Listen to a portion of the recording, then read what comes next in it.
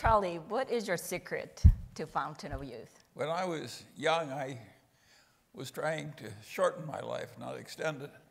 I was afraid that I would spend too much time at the end drooling into a cup or something in a nursing home, and I wanted to cut that part of life short.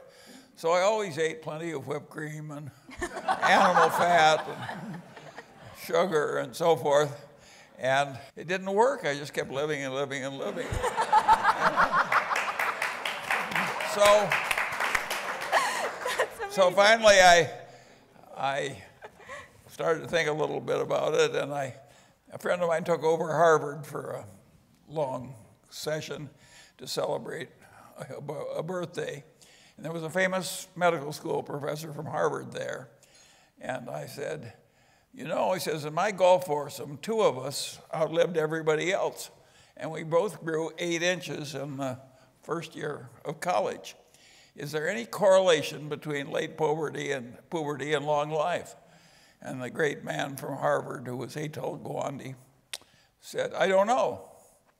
And I went back to Los Angeles, and the next week came a big stack of research. And sure enough, in both men and women, the later the puberty, the longer the life expectancy. And I was terribly pleased with myself to have this new knowledge. And I went out the first night and met some lovely young woman of about 60.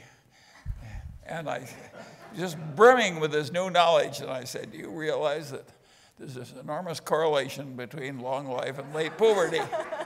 and she looked at me and said, Charlie Munger, you son of a bitch, why did you have to tell me this? I started menstruating when I was 10 years old.